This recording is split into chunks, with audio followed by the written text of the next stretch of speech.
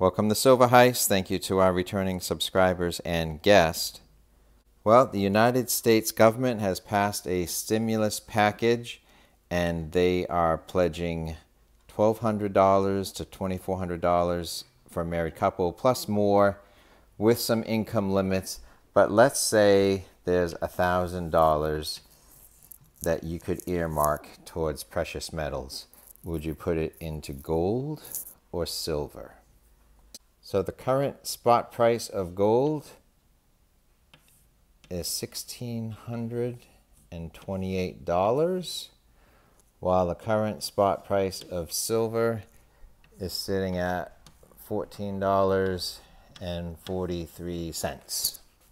So with $1,000 and forgetting about premiums, this would get you 0.61 ounces, where this would get you 69 ounces. So to keep it simple, and because we're not 14 year olds, or maybe we are, we're just going to round that to 70 ounces.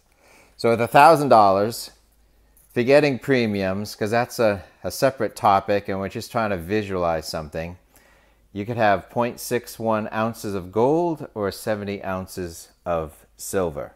I'm going to show you in physical metal what these two look like, and then I'll talk about what my choice would be. But not only that, if you stick to the end, I did a poll with this very question. You can find out what a 100 of your fellow stackers viewed as the choice that they would likely make. All right, so that's about 112 to 1 ratio between silver and gold. So if you wanted to figure out 70 ounces of silver versus 0.6 ounces of gold, you could start with 10 ounce bars. So let's visualize the difference between the two. So I totally get that given some inflow of money, some families will have to think hard about stocking their pantry or making their truck payment or keeping the rent or mortgage paid. But this is just a fun exercise to see what you would do with a thousand dollars in found money. So there's 20 ounces of bars. Now this is a tube of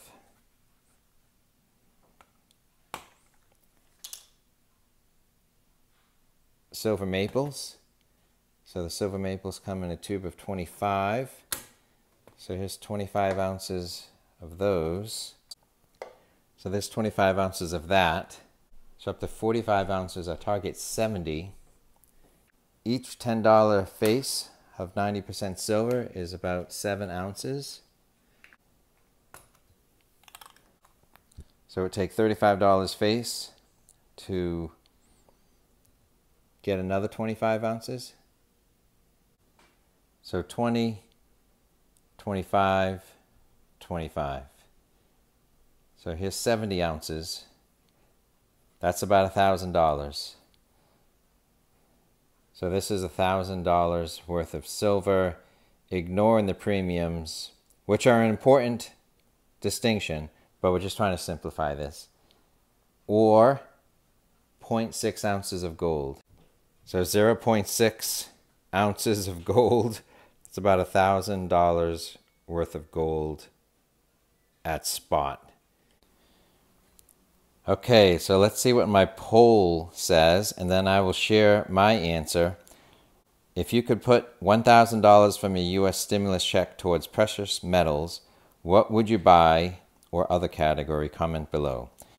So 132 responses. All gold 27%, all silver leading the way with 39%, 50 50 gold and silver 14%, or 80 20 with mostly gold, some silver, or 80 20 mostly silver, some gold. So if you take the 50 50 off the table, it's pretty close. 37% either wanting all gold or mostly gold, or 49 wanting all silver or mostly silver. So a little leaning towards silver. Let's see specific responses. I think most people don't understand that gold is really a good buy right now, too, says Fiat Destroyer. Central banks are buying gold right now. Price is going to shoot up far more than silver, which may even drop in price due to less industrial demand. Go for gold. Cloud Tribe, $1,000 won't even get you an ounce of gold, anyways. I'd put it all in silver. Scott thinks a half ounce of gold, 10 ounces of silver if prices hold. Silver Limey, a different tact. Platinum and silver, my two picks. American Stacker, I'd buy gold and silver right now. You see how the price has disconnected from the markets, and I see that as a clear sign of the fuse being lit. Cash is on full print mode right now, so the price isn't going to back down. Buy what you can while you can.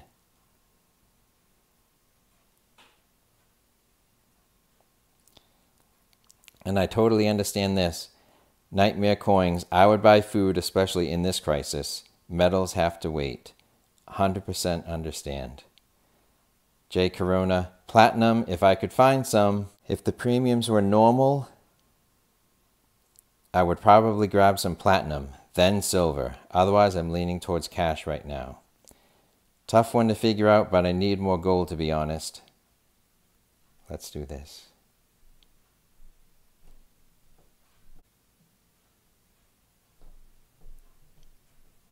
I'm shouting you out on a pre recorded video at this very moment.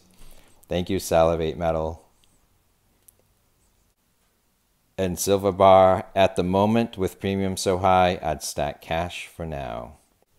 I'd be in the camp of the 80 20, 80 mostly gold. So, in a perfect world, if the spot price and the premiums were just a little bit different, I'd go for a half ounce of gold and a 10 ounce bar from the Royal Canadian Mint. There's a big difference between spot price and coin price. Recently, a one ounce gold coin was listed for $1,800. If you'd like to learn more about that, please click on our featured video.